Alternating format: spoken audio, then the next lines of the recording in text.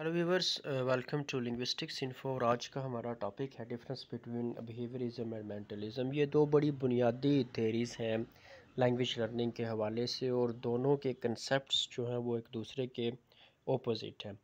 Behaviourism जो है वो अपने जितने भी उनके लर्निंग प्रिंसिपल्स हैं लैंग्वेज के हवाले से उनकी बुनियाद जो है वो ऑब्ज़रवेशन पे और एम्पिरिकल एविडेंस पे रखती है। मतलब ये कि उनके लिए जो एक्सटर्नल फैक्टर्स हैं, जो ऑब्जेक्टिव रियलिटीज़ हैं, जिनकी बुनियाद पे लैंग्वेज को सीखा जा सकता है, या कोई भी स्किल जो है वो सीखी जा सकती है वो एक्सटर्नल फोर्स की बुनियाद पर होती है, वो ऑब्ज़र्वेबल होनी चाहिए।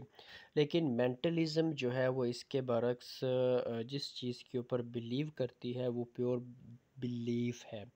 यानी कि वो असल में एक, जो सोच या अकीदा है उसकी बुनियाद पर अपने मेजर प्रिंसिपल्स जो हैं उनको पॉइंट आउट करते हैं। उनकी नज़र में जो एक्सटर्नल रियलिटी है या ऑब्जेक्ट या फिनोमिना है, वो इतना इम्पोर्टेंट नहीं होता लैंग्वेज लर्निंग के हवाले से, जितना कि इंटरनल मेकनिज़म होना चाहिए।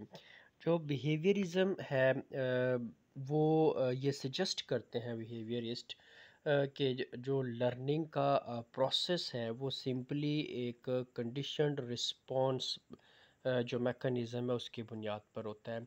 यानी कि एक स्टिमुलस जो है, वो होना ज़रूरी है। अगर आप कुछ भी सीखना चाहते हैं तो एक स्टिमुलस हो, फिर उसके नतीजे में एक रिस्पॉन्स होता है और फिर एक रिवार्ड मिलता है और इसी से जो बिहेवियर्स हैं, वो तश्कील पाते चले जाते हैं।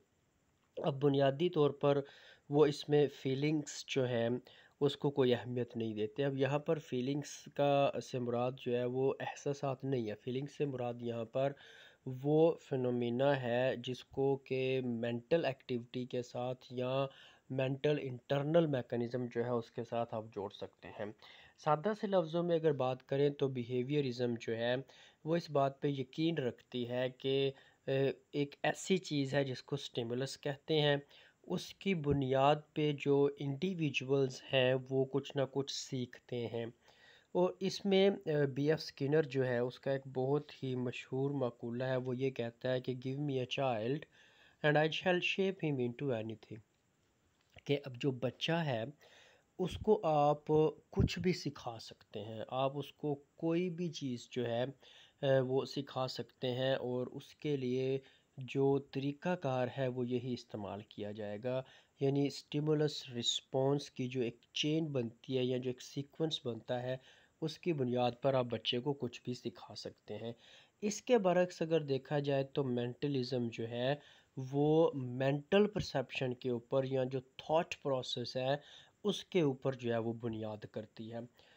उनका ये ख्याल है कि जो ऑब्जेक्ट ऑफ़ नॉलेज है, वो ऐसे ही एग्ज़िस्ट नहीं कर रहा कि बाहर कोई भी एक चीज़ जो है, जैसे बिहेवियरिस्ट कहते हैं कि ये एक एक्सटर्नल फिनोमिना है या एक एक्सटर्नल स्टिमुली जो है उसकी बुनियाद पे होता है, वो कहते हैं, नहीं, इस तरह की कोई चीज़ एग्जिस्ट नहीं करती, सिर्फ़ एक ही चीज़। और वो क्या है कि जो माइंड ऑफ़ परसीवर है, उसमें कुछ है जिसकी बुनियाद पे चीज़ों को सीखा जाता है। अब बिहेवियरिज़म अनलाइक बिहेवियरिज़म जो मेंटलिज़म है, वो फोकस किस बात के ऊपर करती है? वो बात करती है जो प्रॉपर्टीज़ ऑफ़ ह्यूमन माइंड है उसके ऊपर।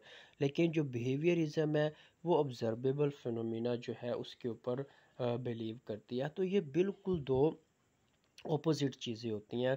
प्रॉपर्टीज़ ऑफ़ ह्यूमन माइंड्स जो है, उनके ख्याल में ये एक ऐसा फिनोमिना है जो कि लैंग्वेज लर्निंग के लिए बिल्कुल बुनियादी है।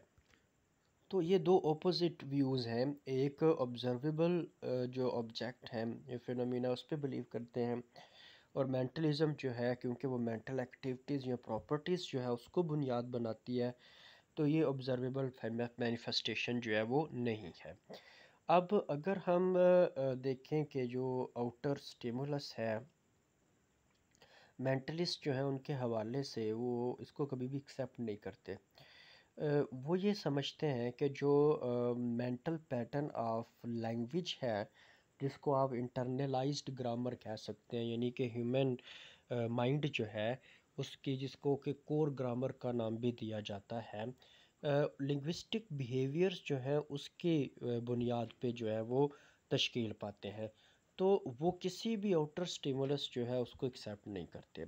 बिहेवियरिज़म जो है थेरी ऑफ़ लर्निंग के हवाले से उसका बुनियादी फोकस जो है, वो उन बिहेवियर्स पे है जिनको ऑब्ज़र्व किया जा सकता है। क्योंकि अगर एम्पिरिकली बात करें तो जो एम्पिरिकल स्टडी है, वो सिर्फ़ उन्हीं चीज़ों को फैक्ट मानती है जो कि ऑब्ज़र्वेबल होते हैं। जो ऑब्ज़र्वेबल नहीं है, वो फैक्ट नहीं हो सकते। अब मेंटल एक्टिविटीज़ जो है उसके बारे में तो नहीं कुछ कहा जा सकता, ना ही उसको देखा जा सकता है ना ही कोई उसकी मैनिफेस्टेशन इस तरह से हो सकती है तो वो एम्पिरिकल नहीं है। तो वो उसको डिस्काउंट करते हैं। किसी किस्म की जो मेंटल एक्टिविटी है, वो एक्सेप्टेबल नहीं है बिहेवियरिज़म जो है उसके पॉइंट ऑफ़ व्यू से। अब बिहेवियरिस्ट जो है वो लर्निंग के इस प्रोसेस को या इस मेथड को कंडीशनिंग का नाम देते हैं और कंडीशनिंग जो है वो दो तरह की है। एक क्लासिकल कंडीशनिंग है जिसको इवान पॉलव जो है उसने प्रेजेंट किया था और फिर क्लासिकल जो ऑपरेंट कंडीशनिंग है उसको बी एफ़ स्किनर ने प्रेजेंट किया था। दोनों तरह की जो कंडीशनिंग है उसमें एक्सपेरिमेंट, जानवरों पर जो है वो किए गए थे। और इन दोनों में जो इम्पोर्टेंस है, वो स्टिमुलस की है। जैसे कि सपोज़ आप हंगर की बात कर ले, जो स्टिमुलस है, यानी हंगर जो है, वो फोर्स करता है एनिमल को कि वो एक रिस्पांस दे और रिस्पांस जो है, वो लीवर को प्रेस करना पुल करना हो सकता है और उसके नतीजे में रिवार्ड यानी फ़ूड जो है, वो एनिमल को दी जाती है। तो यूँ समझा जाता है कि इस तरह एनिमल जो है उसने एक बिहेवियर जो है वो सीख लिया है। तो जितनी दफ़ा वो इस प्रोसेस को रिपीट करता है, उतना वो बेहतर तरीके के साथ इस चीज़ को जो है वो सीखता चला जाता है। तो बिहेवियरिस्ट जो है वो ये समझते हैं कि लैंग्वेज भी इसी तरीके के साथ जो है वो सीखी जा सकती है। यानी लैंग्वेज हैबिट लर्निंग की तरह होती है, जिस तरह हम बाकी हैबिट्स डेवलप करते हैं, इसी तरह लैंग्वेज जो लर्निंग है, उसको भी हैबिट फॉर्मेशन की तरह जो है वो आप सीख सकते हैं। उसकी फॉर्मेशन भी हो सकती है।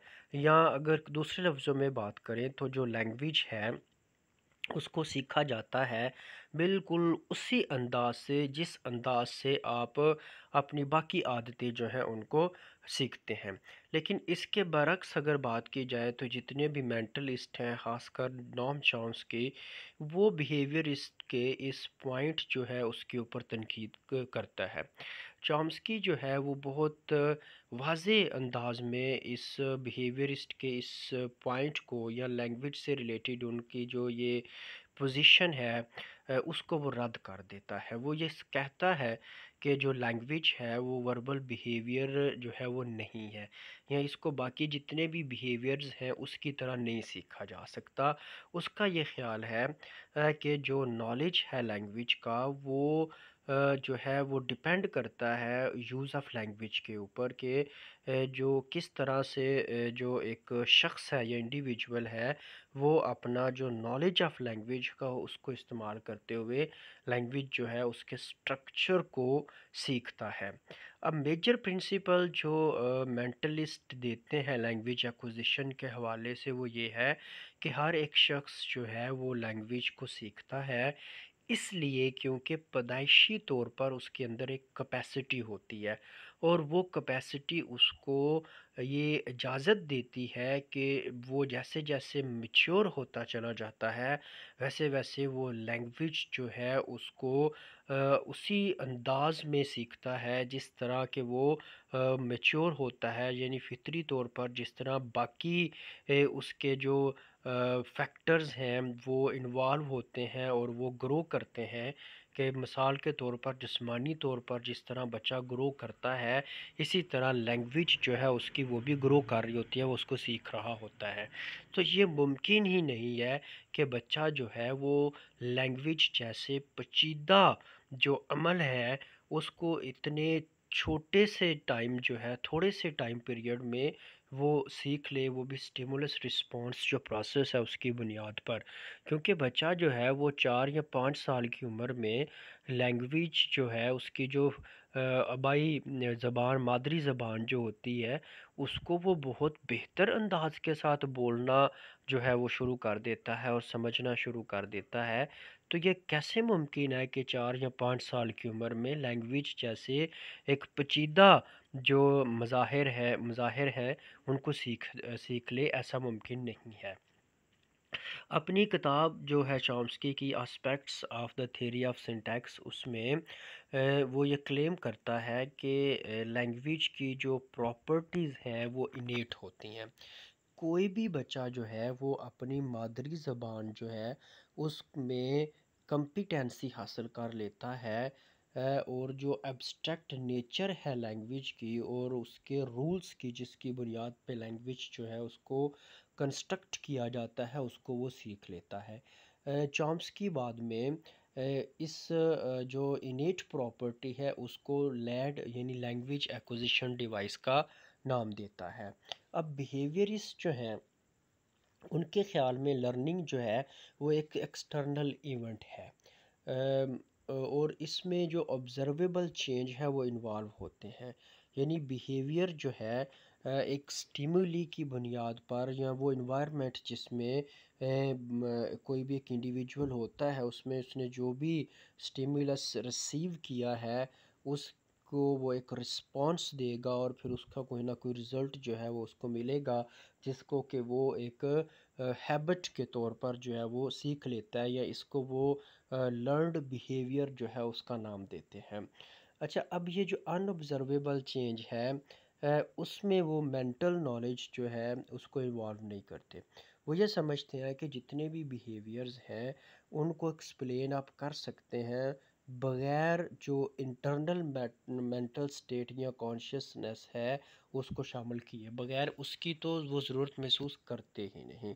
लेकिन चॉम्स्की सजेस्ट ये करता है कि जो लर्नर है, कुछ, किसी भी ज़बान जो है उसको सीखने वाला, वो इनबिल्ट लर्निंग कैपेसिटी जो है, उसकी बुनियाद पे सीखता है। और वो जो कैपेसिटी है, वो उसको इस काबिल बनाती है कि वो कुछ सेट ऑफ़ रूल्स जो हैं, जो लैंग्वेज से रिलेटेड होते हैं, उनको वो जो है इस्तेमाल करते हुए एक लिमिटेड जो उसका एक्सपोजर होता है लैंग्वेज के साथ, यानी तीन चार साल की उम्र में बच्चा कितनी लैंग्वेज जो है उसको इनपुट के तौर पर अपने माइंड जो है उसमें डाल सकता है। बहुत थोड़ा एक्सपोजर होता है उसका, लेकिन इसके बावजूद कि वो लिमिटेड एक्सपोजर है तो वो जो सेट ऑफ़ रूल्स हैं अंडरलेइंग जो स्ट्रक्चर है जो कोर ग्रामर है, उसको इस्तेमाल करते हुए वो जो कम्प्लेक्सिटीज़ हैं लैंग्वेज की, उनको सीख लेता है। मेंटलिस्ट ये दावा करते हैं कि लैंग्वेज जो है, वो रूल्स ओरिएंटेड होती है। वो कोई हैप हैज़र्ड मजमू नहीं है मुख्तलिफ़ चीज़ों का जिस तरह के बी एफ़ स्किनर जो है वो समझता है।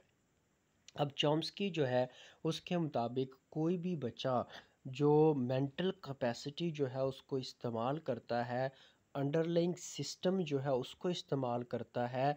उसको इस्तेमाल करते हुए वो जो जंबल ऑफ़ साउंड्स है, जिसको कि वो इनपुट के तौर पर हासिल कर रहा है, वो एक रूल ओरिएंटेड जो उसके अंदर मेकानिज़म है, उसकी बुनियाद पर वो जो जंबल, जो साउंड्स हैं, उनको वो तरतीब दे देता है और एक सीक्वेंस जो है उसके हिसाब से उनको कंस्ट्रक्ट करना सीख लेता है।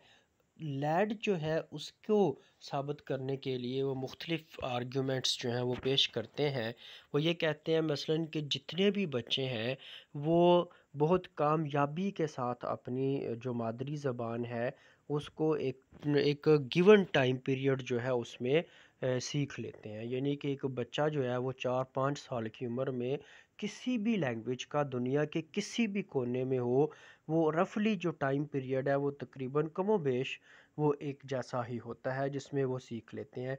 लेकिन ये एक्सपेक्ट नहीं किया जा सकता कि लैंग्वेज जैसी जो पेचीदा चीज़ें हैं, वो बच्चा कभी भी नहीं और सीख सकता एक्सेप्ट लैंग्वेज आप एक बच्चा जो है, वो लैंग्वेज तो चार या पाँच साल की उम्र में सीख लेगा, लेकिन इसके अलावा या उसी तरह की कोई और पेचीदा चीज़ जो है वो बच्चा नहीं सीख सकता, कभी भी नहीं सीख सकता।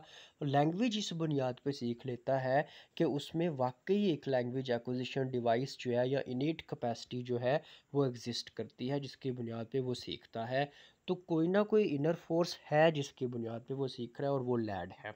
बच्चे जो हैं उनको वालदेन कभी भी एक सिस्टमेटिक वे में लैंग्वेज नहीं सिखाते, ना ही उनकी करेक्शन जो है वो की जाती है, लेकिन इसके बावजूद बच्चे जो हैं, वो एक सिस्टमेटाइज्ड वे में लैंग्वेज जो है उसको कंस्ट्रक्ट करना सीखते हैं और लैंग्वेज जो है उसको, उसकी जो सीक्वेंस के साथ कंस्ट्रक्शन है सेंटेंसेस की, वो कर लेते हैं। तो ये सिर्फ़ और सिर्फ़ उसी इंटरनल मैकेनिज़्म की बुनियाद पे होता है।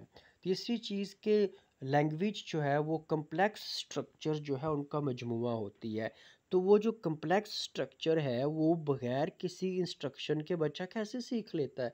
जब उसको इंस्ट्रक्ट ही नहीं किया जाता तो वो कैसे सीख लेता है? तो डेफिनेटली वो इसलिए सीख लेता है कि there is something underlying that helps him to construct the language according to that particular set of rules जिसकी बुनियाद पे वो अपनी लैंग्वेज जो है उसको कंस्ट्रक्ट करता है और उसको कंस्ट्रक्ट करना सीख लेता है और ये सारा कुछ बिहेवियरल प्रोसेस के ज़रिए मुमकिन नहीं है। फिर बच्चे क्या करते हैं कि वो ऐसी चीज़ें भी बोलते हैं जो उन्होंने नहीं सुनी होती।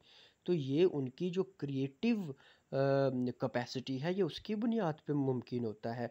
अगर हम बिहेवियरिज़म जो है उसके प्रोसेस के हिसाब से चले तो ये तो मुमकिन ही नहीं है। वो तो मुकम्मल तौर पर जो इन बोन आस्पेक्ट है, जिसकी बुनियाद पे ह्यूमन नॉलेज जो है लैंग्वेज जो है, वो हासिल करता है, वो तो उसको समझते ही नहीं, इनकार कर देते हैं उसका। और फिर वो इसमें बिल्कुल नाकाम होते हैं कि वो ये भी एक्सप्लेन कर लें कि बच्चा जो है, वो किस तरह से ये सारा कुछ सीख रहा है, या नई सेंटेंसेस या ट्रेंसेस जो है, उनको प्रोड्यूस कर रहा है। तो वो कोई भी इस तरह का जो है वो मेकानिज़म नहीं एक्सप्लेन कर पाते। सिर्फ़ और सिर्फ़ मेंटलिज़म जो है वो इस चीज़ को एक्सप्लेन करती है। बिहेवियरिज़म जो है, वो जिस चीज़ के ऊपर ज़्यादा ज़ोर देती है, वो इमिटेशन है। और इमिटेशन के ज़रिए तो सारा कुछ नहीं सीखा जा सकता। तो कोई ना कोई क्रिएटिविटी जो है वो बच्चा करता है, जिसकी बुनियाद पे वो नई चीज़ें जो है वो क्रिएट करता है वो नई सेंटेंसेस बोलता है, वो इस तरह के अल्फाज की अदायगी करता है जो इससे पहले उसने नहीं सुने होते या उसके जो इर्द गिर्द लिंग्विस्टिक इन्वायरमेंट है उससे उसने हासिल नहीं किए होते लेकिन फिर भी वो इस तरह की कंस्ट्रक्शन करता है। तो ये क्रिएटिविटी की बुनियाद पे है। रिपीटिशन या इमिटेशन इमिटेशन जो है उसके ज़रिए तो ये मुमकिन नहीं है। तो ये जो व्यू है उसके हिसाब से तो वो बच्चे को बिल्कुल पैसिव बना देते हैं। हालाँकि बच्चा जो है, वो लैंग्वेज एक्विजिशन जो है उसके हवाले में देखा जाए तो उस प्रोसेस के अंदर वो बहुत एक्टिव रोल प्ले करता है कि वो चीज़ों को इनपुट के तौर पर रिसीव करता है और फिर अपने इंटरनल मेकनिज़म जो है उसका इस्तेमाल करते हुए वो जो सेट रूल्स हैं उसकी नेटिव लैंग्वेज के उसके हिसाब से उनको कंस्ट्रक्ट करता है। तो ये कुछ जो है वो बुनियादी डिफरेंसेस थे मेंटलिज़म और बिहेवियरिज़म के दरमियान। तो इससे अंदाज़ा लगाया जा सकता है कि ये दोनों बिल्कुल एक दूसरे के ऑपोजिट जो पोल है उस पर स्टैंड करते हैं। Don't forget to like the video subscribe my channel अगर आप पहली दफ़ा जो है वो इस चैनल पे आए हैं वीडियो को शेयर कीजिए।